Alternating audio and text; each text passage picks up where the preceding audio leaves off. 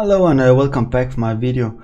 In this video I will speak about the config parser for Python and we are coming for the data types. So if we're going for the configuration file we have, you will see we have the string here, it's hello world, compression should be a boolean, uh, true and false, and then we have compression level should be an integer, and then we have string, string, string, and we can add the port number. Port number should be 9000 and this should be int 2 and keep alive should be a boolean 2 so let's going back for the application.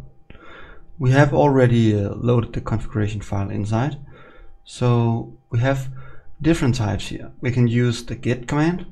Get always takes strings. It's uh, look like this one. Uh, username. Equal to uh, config get and then we need database and then we need the user.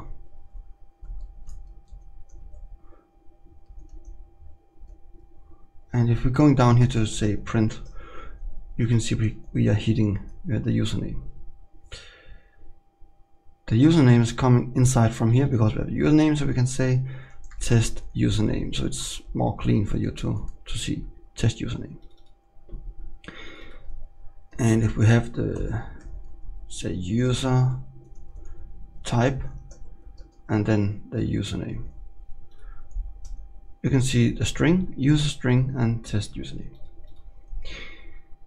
If you do the same with the port inside the port and the port.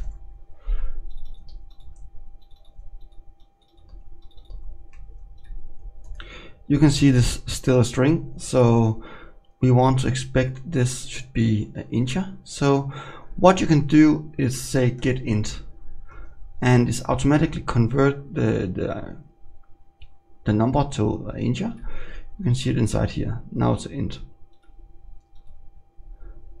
If you want to do this with the with the boolean you can just type boolean here. And going inside here to say keep alive that's what we want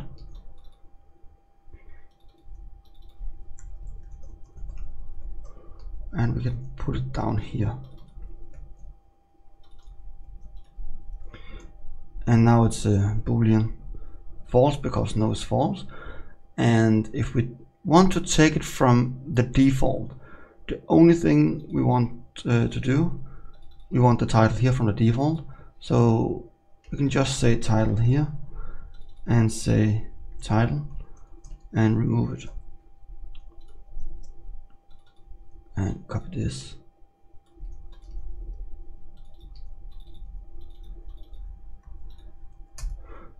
and say we expect uh, one uh, requiring one uh, for optional but we know we can do this uh, from from the that because we need the default here. So let's try one more time and now we have it so we need always two params up here the arguments sorry. The first one is the section default database. The second one title should be the, the argument here for the title. So default title. And we have the database user database port and yeah keep going for that. Now you're probably sitting and thinking about what happening if we have uh, something in the configuration is optional and is not set yet then we can use the fallback method. Let's say we want a timeout here. Timeout. And in the database we want to say the timeout. And you can see we don't have any timeout here yet. And if I print this out you'll see an error. Let's uh, yeah let's keeping it here. We'll get an error because no options called timeout in the section database. So what you can do here is just to make a comment uh, uh, comma sorry and call fallback and we know this is, should be an inch and not a boolean. So that's my uh, error. And we want to say default is 60 seconds if nothing can happen in 60 seconds then make a, a, a timeout. And now we have it. If we're going inside the configuration file and say timeout is equal to 300 this meaning 5 minutes and we call it again it's converted for this. So that's how we're working with the data type in config parser. I hope you enjoyed very well.